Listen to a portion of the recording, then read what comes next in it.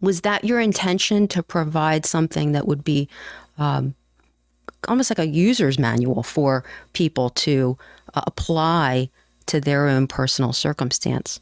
Because you didn't write it just for lawyers, right? I mean, you, you, I can see, as I said in the beginning, that you've you've certainly taken concepts that were fleshed out uh, in your Iron Advocate podcast and are now applying it to lots of different types of people, not just lawyers. No, I mean, thank you for taking the time to to read it and and for all that feedback. Um, a couple things. One, you know, I, I, often say if somebody is selling answers, I'm not a buyer. Right, that's mm-hmm. fundamental mm-hmm. for me. I, I, you know, that's just. Um, I'm all about the process, and you know, not about the the results or the answers. So um, that that is fundamental for me. And in terms of the book, you know, so so one of my north stars, we'll say, or you know, Polarises in writing the book was that I find that there are a lot of you know amazing resources in this space, whatever you want to refer to the space as, whether it's mindfulness or personal growth, uh, and there there are great things offered.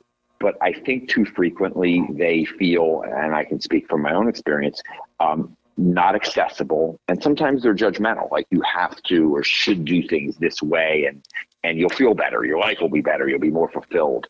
Um, and i think they, they leave people feeling oftentimes like there's a you know a success or failure in in our own growth. And and for me this book was really about like you said i am a believer that we don't rewire ourselves. We just continue to refine the index to our owner's manual that that's really what the journey is about. And you do that through trial and error. And assumed in that is, as as I said earlier, you're going to stub your toe like daily and often. And for me, uh, I'm a big yes on the way you described that, and I I, I really am humbled that that you took that from it.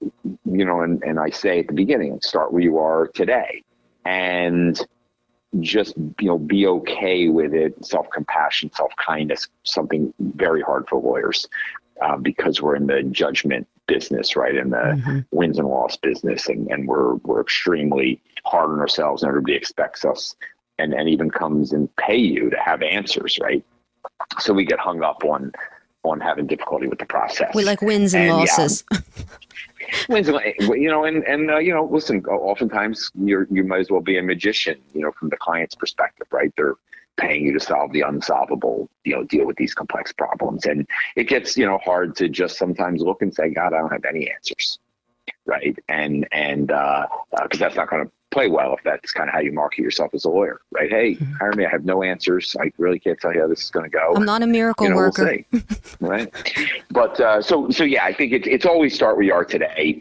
and um, and be okay with you know with how the journey goes. And so for me, there are opportunities throughout the day to be intentional, to pay attention.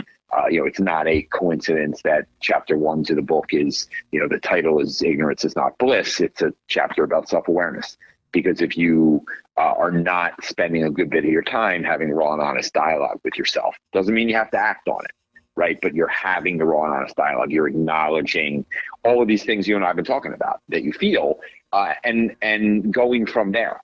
And again it doesn't mean that you have to or should or will act on them that day or immediately or maybe never as long as you're doing so with intention. And to me that's the essence of of any kind of real personal growth is how honest are you willing to be with yourself, uh, you know, each and every day. And you just try to get up and, you know, rinse, repeat every day.